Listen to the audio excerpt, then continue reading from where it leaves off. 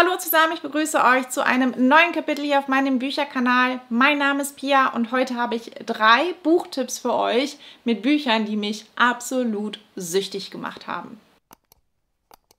Ihr kennt das bestimmt, es gibt Bücher, die sind einfach so gut und so spannend, dass man süchtig danach ist, dass man sie nicht aus der Hand legen kann und dass diese Bücher auch noch eine ganze Weile in einem nachhallen. Drei Bücher, bei denen es mir so ging, möchte ich euch heute näher vorstellen. Und wenn auch ihr Bücher habt, die euch süchtig gemacht haben, schreibt das sehr gerne unten in die Kommentare. Und nicht vergessen, dem Video einen Daumen nach oben zu geben. Den Anfang macht Der dunkle Schwarm von Marie Grashoff, erschienen bei Bastei Lübbe. Ich habe ja schon mal vor einiger Zeit erzählt, dass ich gerne mehr aus dem Genre Science Fiction lesen möchte, weil die paar Bücher, die ich bisher daraus gelesen habe, mir immer sehr gut gefallen haben. Der dunkle Schwarm ist so ein Buch und es hat mir nicht nur sehr gut gefallen, ich konnte es wirklich nicht aus der Hand legen. Es kommt bei mir sehr, sehr selten vor, aber ich hatte vor kurzem einen fast kompletten Tag, an dem ich alleine zu Hause war und ich hatte für diesen Tag einiges geplant. Und ich habe dann angefangen zu lesen und letztendlich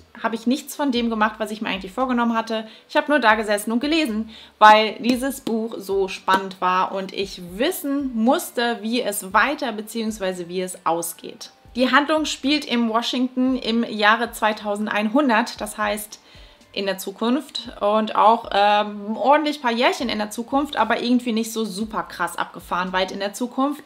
Trotzdem hat sich das Leben im Vergleich zu unserem heutigen Leben sehr stark verändert. Es wird hier nicht erläutert, ob das überall so ist, aber zumindest in Washington wurde die Stadt in die Höhe gebaut. Es gibt verschiedene Ebenen und je weiter oben man lebt, desto mehr Kohle hat man. Ganz oben auf dem Upper Level leben die Superreichen und ganz unten im Sublevel leben halt wirklich die sehr, sehr armen Menschen. Und das Leben hier ist halt wirklich nicht leicht. Es ist ähm, ja heruntergekommen, dreckig und vor allem ist es dunkel, weil aufgrund dessen, dass die Stadt nach oben gebaut wurde, aufgrund der Upper Level, kann man den Himmel vom, von unten überhaupt nicht mehr sehen. Der Grund dafür, dass das Ganze gemacht wurde, ist, meine ich, gelesen zu haben, Überbevölkerung. Außerdem gibt es hier Androiden, die von wirklichen Menschen kaum zu unterscheiden sind. Und das wohl herausragendste Merkmal sind die Implantate, beziehungsweise die sogenannten Hive Minds. Jeder Mensch bekommt, ich weiß nicht genau wann, jedenfalls in der Kindheit ein Implantat in sein Gehirn eingesetzt, ein sogenanntes ADIC. Und im Prinzip fun das, funktioniert das so ein bisschen wie eine eingesetzte, eine implantierte SIM-Karte, denn über diesen ADIC kann man miteinander kommunizieren. Und nicht nur das, man kann sich zu sogenannten Hives zusammenschließen. Das heißt, Leute, die ähnliche oder gleiche Interessen haben, haben sich zu einem Hive zusammengeschlossen und innerhalb dieses Hives sind alle Informationen abrufbar. Alle können auf die Infos, auf das Wissen von den anderen zugreifen. Sprich, weiß einer etwas, wissen es alle. Gruseliger Gedanke oder praktischer Gedanke? Ich bin mir noch nicht ganz sicher. Die Protagonistin in diesem Roman führt ein Doppelleben. Tagsüber heißt sie Atlas und sie arbeitet für den führenden Hive-Hersteller und nachts nennt sie sich aber Oracle und sie handelt mit Wissen, mit Informationen oder mit Erinnerungen in der Unterwelt oder im Untergrund. Denn Atlas bzw. Oracle hat eine ganz besondere Gabe. Sie kann auf alle ADICs zugreifen bzw. diese hacken und hat damit Zugriff auf ein ja, immenses Wissen, auf unheimlich viele Informationen. Und mit genau denen handelt sie. Und aufgrund ihres Doppellebens ist Atlas sehr, sehr tough. Sie hat viel mit zwielichtigen Personen zu tun, die Informationen bei ihr kaufen und deswegen hat sie es halt auch faustdick hinter den Ohren. Sie ist halt eine richtige Kämpfernatur und scheut auch Gefahren nicht und das mochte ich sehr. Sie nimmt die Dinge in die Hand, sucht nach Lösungen und hat auch keine Angst vor gefährlichen Situationen und auch ihr neuester Auftrag hatte es ordentlich in sich. Es wurde ein kompletter Hive ermordet. Das heißt, mit einem Schlag haben Hunderte bzw. Tausende von Menschen gleichzeitig ihr Leben verloren. Technisch ist das eigentlich unmöglich, aber irgendjemandem ist das gelungen. Die Frage ist natürlich, warum und wie. Dieser eigentlich unmögliche Mord lässt Atlas nicht los und sie nimmt den Auftrag an. Der Auftrag kommt von Noah, einem jungen Mann, der seine Schwester nämlich genau in diesem Hive-Mord verloren hat. Das heißt, seine Schwester war Mitglied dieses Hives. Und ziemlich schnell nehmen die Dinge hier ihren Lauf. Atlas, Noah und der persönliche Androide Julian von Atlas geraten in Dinge rein, die doch größer und gefährlicher sind, als sie zunächst denken. Sie sind da eine ganz schön große Sache reingeraten und sie sind gefühlt von niemandem mehr sicher. Das heißt, eine super spannende Verfolgungsjagd beginnt. Als Leser fällt man hier fast in diese Geschichte rein und macht halt auch direkt Bekanntschaft mit Atlas Toughness und so rasant wie, wie der Start des Buches ist, so zieht sich halt wirklich dann auch die komplette Handlung fort. Neben der starken Protagonistin und der gut ausgearbeiteten Story hat mir vor allem auch das Setting hier sehr gut gefallen, denn das ist sehr, sehr düster und erschreckend, gleichzeitig aber auch total faszinierend. Marie Grashoff hat halt hier wirklich eine sehr düstere Zukunftsvision erschaffen und gerade das Leben in den Sublevel Oh ja, also da wird einem anders. Also der Gedanke daran hat mir wirklich schon so ein bisschen kalt, es hat mir eiskalt den Rücken runterlaufen lassen. Ähm, die Menschen dort sind halt echt auch so arm, dass sie sich noch nicht mal normale Nahrungsmittel leisten können. Sie bekommen so, sogenannte synthetische Nahrung und ähm, ja, sie haben auch noch andere Verpflichtungen der Regierung ge gegenüber, bei denen einem auch einfach ganz anders wird. Gleichzeitig fand ich die hier vorgestellte Technik, die technische Entwicklung einfach hochspannend. So das Prinzip der Implantate, die Androiden natürlich. Es gibt Space Shuttles, mit denen man ins Weltraum, ins Weltall reisen kann. Das war super interessant zu lesen, auch wenn so ein paar Fragen noch offen geblieben sind. Also es wurde halt nicht so komplett alles, was so der wurde nicht komplett alles, für alles eine Erklärung gegeben, warum etwas so ist oder wie genau etwas funktioniert. Aber das zugrunde liegende Rätsel ist hier natürlich, wie ein kompletter Hive ausgelöscht werden konnte. Es zieht sich aber auch noch ein weiteres Rätsel durch diese Geschichte und ich habe ja schon kurz angerissen, dass Atlas eine besondere Gabe hat und die Frage ist hier natürlich auch, warum kann sie das? Das verrate ich natürlich nicht, das muss man als Leser selber herausfinden. Aber so viel vorweg, wenn ihr dieses Buch anfangt zu lesen, nehmt euch besser, ja, nehmt es an einem freien Nachmittag oder an einem freien Tag in die Hand, denn ihr werdet es so schnell nicht mehr aus der Hand legen können. Ein weiteres Buch, das mich absolut süchtig gemacht hat, ist Verity von Colleen Hoover, erschienen bei Bold. Und ich habe das Buch ja schon mal vorgestellt. Es ist eins meiner Halbjahres-Highlights. Es ist ja sehr umstritten. Also es gibt ja Leute, die feiern das und es gibt Leute, die sagen, nö, also hm, mit dem Ende habe ich eigentlich gerechnet.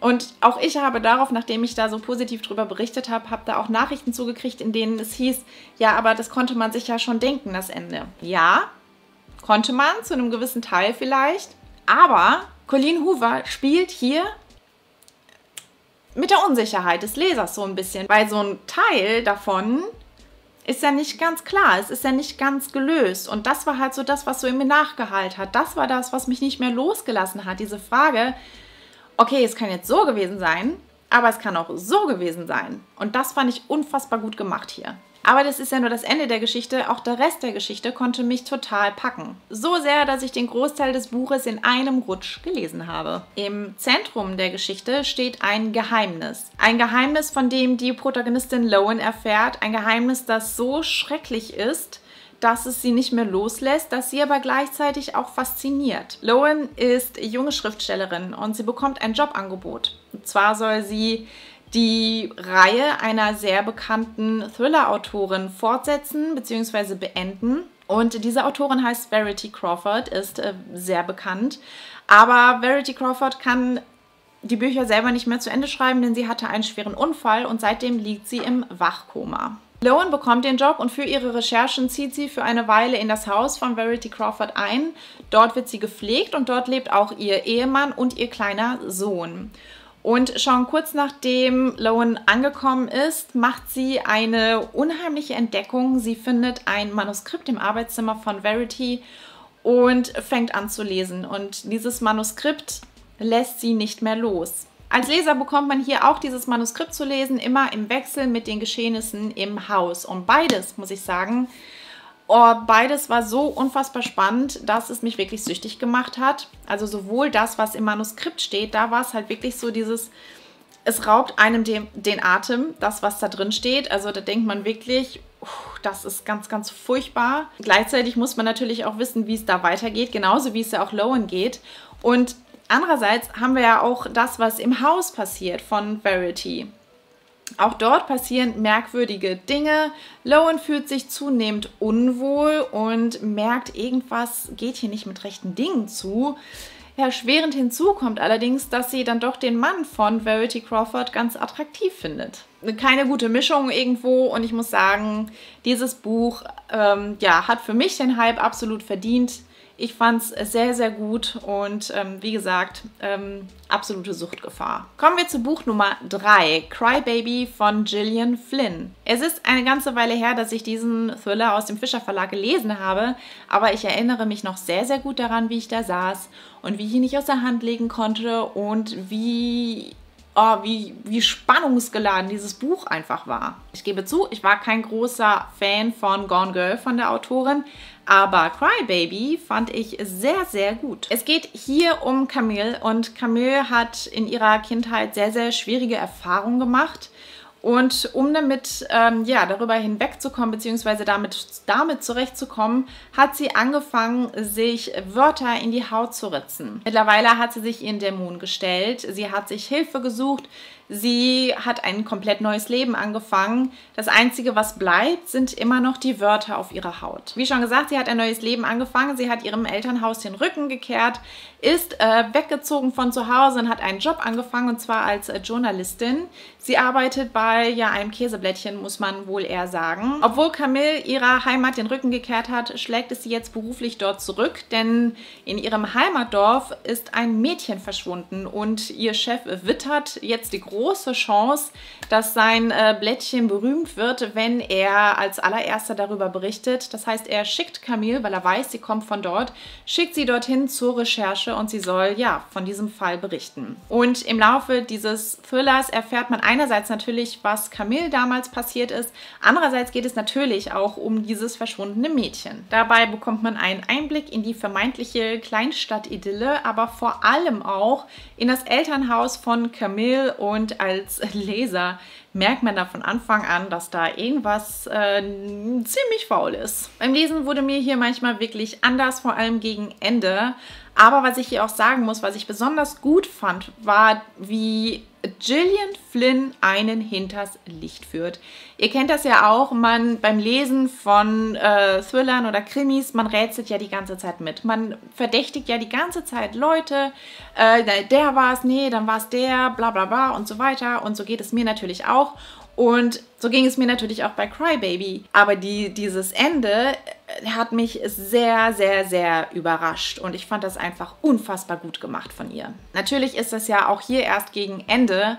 Aber trotzdem, so bis man dahin kommt im Buch, es ist einfach ein konstantes Rätselraten und es ist einfach es ist einfach unfassbar spannend. Ich fand es einfach so, so gut gemacht, dieses Buch. Wie gesagt, nochmal viel, viel besser als Gone Girl. Und es waren so kleine Psychospielchen irgendwie, ne? Und die haben dieses Buch einfach zu so etwas Besonderem für mich gemacht.